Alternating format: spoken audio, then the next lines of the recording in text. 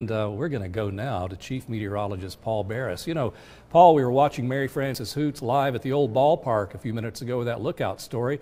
Made me want to get the old mitt out and, you know, do a little throw and catch today. It's perfect. I haven't used my right arm for throwing in so long. I don't know if they'd probably be sore for weeks after that.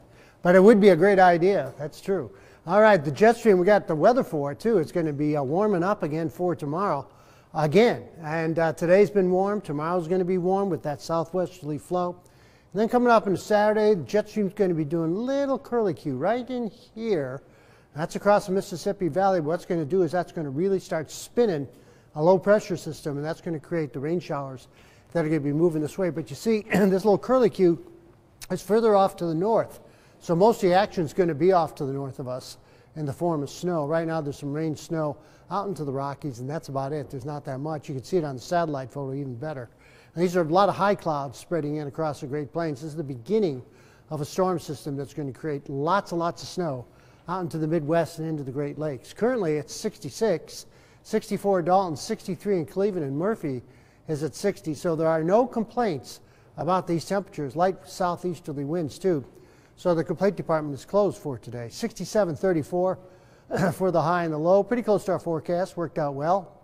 And Skywatch has called in and we're bragging about their highs. Summerville got up to 70 today, while Fort Payne and Calhoun at 68. Dalton was 67, even into the mid 60s from LJ all the way up to Blue Ridge. Right across the metro area, Cleveland mid 60s. Ooltewah was 67, so was Red Bank. Right here at Channel 3, we hit 68, while Trent got nearly to 70, 69 there. Lookout Mountain 60, and Gwen Tugman, was, she was just thrilled about this. 62 up on Signal Mountain, that's pretty good. And then mid to upper 60s again from Pikeville all the way to Dunlap, down to Jasper.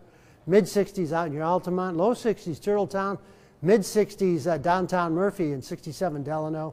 67 also in Etowah along Highway 411. Southerly winds continue uh, through tonight and tomorrow. Winds will be light tonight, though. Here comes the rain, though. That all changes coming up into Saturday. We'll see those showers start to spread our way. But you notice it shrinks. So there's not as much coming up into the morning and the early afternoon. Then it's out of here uh, by 5 o'clock, and some drier weather starts to move. Another little wave will come in, though, into Sunday night, and into Monday morning, we could see some showers. But we're not thinking a lot, only about maybe a tenth to a two tenths. And here's where the big snow is going to be up into the Great Lakes and the Great Plains. 40 tonight, clear skies. Tomorrow, 68 mostly sunny tomorrow night. 50 with a few more clouds, but still dry. Seven day forecast that rain, 50 50 chance Saturday. Sunday could have a few breaks in the clouds, 58. Uh, late Sunday night, we'll see some rain, and into Monday morning, see some rain.